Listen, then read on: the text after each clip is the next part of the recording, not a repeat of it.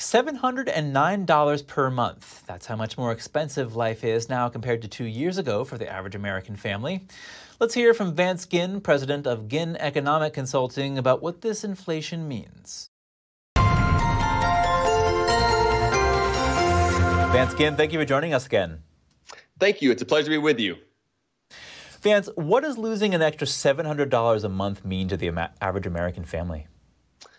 It means a lot. I mean, this is something that's going to hit them in their pocketbook, and it has been for the last couple of years. Just over the last two years, the cost of paying for the average basket of goods and services that a typical household would buy has went up by more than $700, and their incomes have not been increasing at the same rate, which means that they're fall, starting to fall behind on their credit card bills, um, even their rent, a lot of other things that they wouldn't be able to pay for before. They're really having to make some tough choices each and every month. That's right. Yeah, there were times in my life where an extra $700 a month would have been uh, crushing. Well, that's exactly right. I mean, especially if you're a college student, you're fresh into your career where you're really just starting to get on your feet again, or maybe you have multiple kids and you're starting to get them back to school. Um, you're getting the clothes for school and the backpacks and everything else. This could be a really tough time. And unfortunately, you know, we've seen that inflation has started to have some disinflation. It started to slow down the growth rate, but it's still growing. It's still more than what it was last year, even if it's around around 3.2% is what the latest consumer price index showed. Um, so we're still seeing a lot of hurt for many families across the country. And Vance, what can families do to protect their money from the effects of inflation?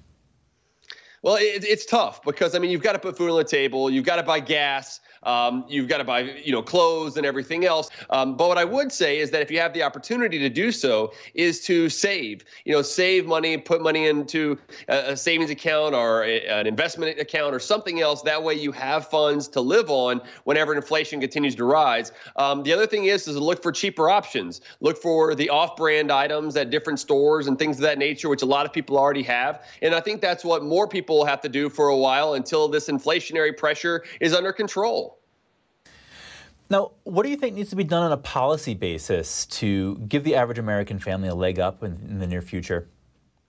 You know, it's a great question. It's one that I think hope that many in Congress and the president and others are really considering right now. Um, and where I would start is at the state level. There's, it's difficult to get a lot of things done in Congress right now. So states should really bring in their government spending, not spending as much, cutting taxes, cutting regulations. That will help to unleash the private sector and allow for more production and supply. And at the federal level, up in D.C., I mean, they've got to get their spending under control because that's racking up massive amounts of debt that the Federal Reserve the central bank is then printing and putting more money into the economy, which drives this inflation across the economy. And so when you start really focusing in on this, we need less government spending, we need lower taxes, lower regulation, and less money printing. If we get that done, we'll get inflation under control and we'll have a, a more robust economy. Now, Vance, I found this kind of interesting. Investors are optimistic the Fed is done raising interest rates, at least for now. Why is that?